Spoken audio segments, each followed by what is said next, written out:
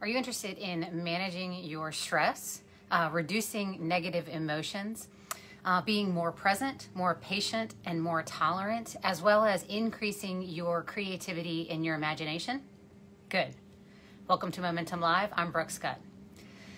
Meditation. And before you click off, you know, if you think meditation can only happen in a dark room with lit candles, chanting like a monk, well, you're wrong just understand that meditation is a, an umbrella term for a relaxed state of the mind. And when you are deeply involved in any particular activity, it can become meditative.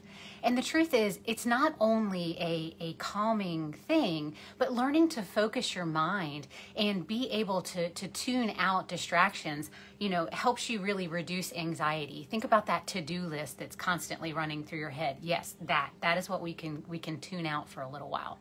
So, look, meditation is not only calming, it has tons of physical health benefits as well. Um, you know, it's been known to, to reduce stress, which we talked about. It's been known to help with um, depression and anxiety, uh, as well as it helps people cope with pain uh, and, and, even strengthen the brain and, and, and the energy and the power from the brain. So, there are a couple elements to note about. Um, meditation. Just a couple things that we think about. So the first one is going to be about focusing your attention. And focusing your attention, this is generally the most important part of meditation because it's really about, you know, training your mind to, to hone in and focus on just one thing, whether that's an object or an image or a phrase. Um, you know even just focusing on your your breath breathing in and breathing out you know that's something. So that's going to be important in meditation. The second thing is going to be again relaxed breathing. So i call that relaxed or rhythmic breathing and i'll tell you why in, in a couple minutes about that. But relaxed breathing is just all that means is taking deep breaths making sure you're using your diaphragm and less of and more of like the belly breathing and whatnot um, a quiet place. Okay, so the quiet place thing. I know I said it wasn't all monostatic in, in the fact that you need to be in a dark room, but the quiet place is about limiting distractions. You want to be in a place where it can be quiet so that you're not distracted by a television in the background or your children in the other room or a cell phone or, or doing it at work. Now, as you get more proficient in meditation, you may be able to do it in those types of places, especially in those high stress situations. So think like traffic. Wouldn't that be great? Um, a comfortable position. This is one of the other elements of it. Um, you want to either be sitting or you could even be laying down. Um, you know, the other thing that you can do, uh, you could be walking or running, which again, we're going to get to in a couple of minutes. But you want to eliminate the distractions. So you want to eliminate that discomfort. You don't want to be standing in high heels, ladies, because we know that that's not always the most comfortable thing. But, you know, sitting in, an easy, comfortable position or, or laying down, whatever. And then lastly, you want to make sure that you have an open mind and an open attitude. And the point is that as as thoughts come through your mind during this process, you just want to let them kind of come through and, and depart. You don't want to hold on to them. There's no reason to judge saying, "Oh, I forgot to do that," or or you know. Um, darn it, I wish I had done better at this particular conversation or, or whatnot. So, again, those are the elements.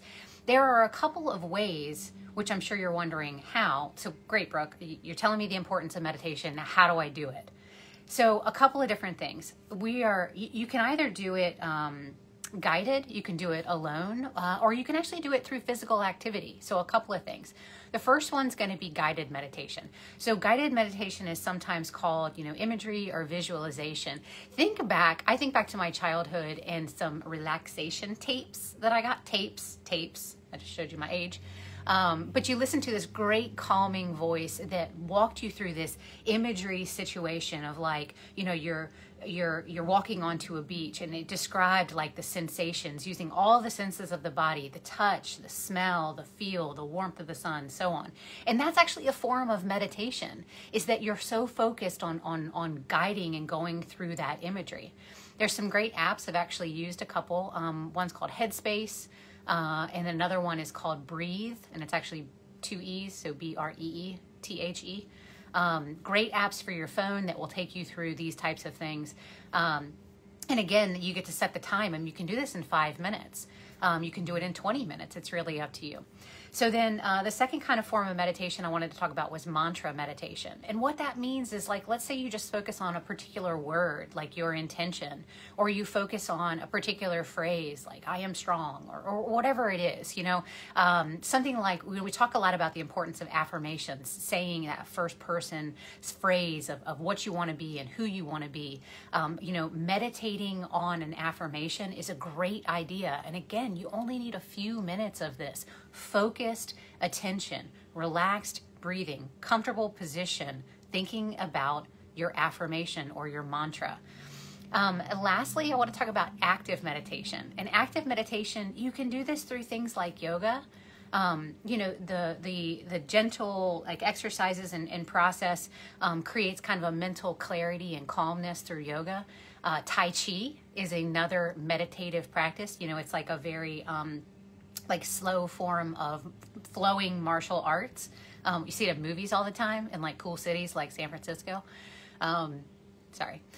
anyway, but then the last thing I wanted to bring up about um, active meditation is like running. You know how you talk to people where where they're great runners and they get into this like major runner high, and then like the mind, the world just kind of blanks out and they just kind of go. Well, that has never been me as a runner. I have constantly been thinking about how not to die while running. Um, but what I found was I actually started running a little while ago on a treadmill because I can control the environment, because I can reduce the distractions. I mean, no cars going by. I'm not worried about the unevenness of the ground. There's a constant rhythmic pace.